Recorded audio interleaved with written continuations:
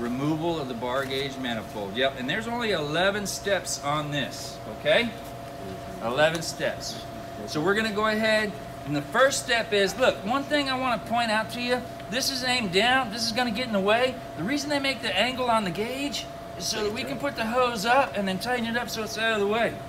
Now, when I go to back seat, my unit's running is the first step. That's okay, we can keep that running. But I'm gonna back seat my king valve to block the gauge port right now. So now I've blocked that stem all the way down and the pressure's off here.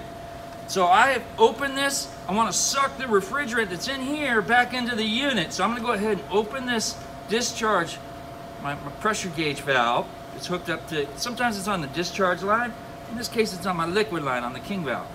I'm going to go ahead and open up my suction side, my compound gauge valve. And I'm gonna go ahead and let slowly pull the liquid from here back over. You saw it go up a little bit. Once these both equalize, they're both the same, right? So if this one hits at about 20, this one should stop at about 20 once I've, look at that. I'm still doing this in all that liquid. That would have been a couple ounces of refrigerant.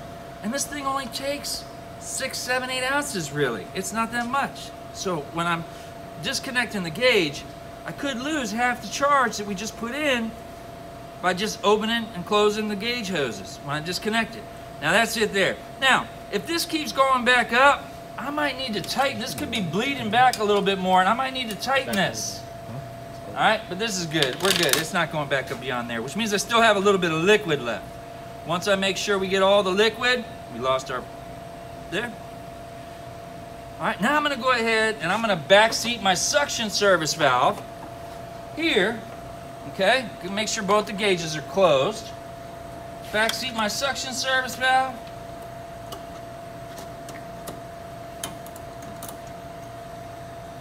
And we're good. Now I can go ahead and safely disconnect the gauges. We're gonna lose a little bit still, but no liquid came out, just de minimis, a little bit of vapor.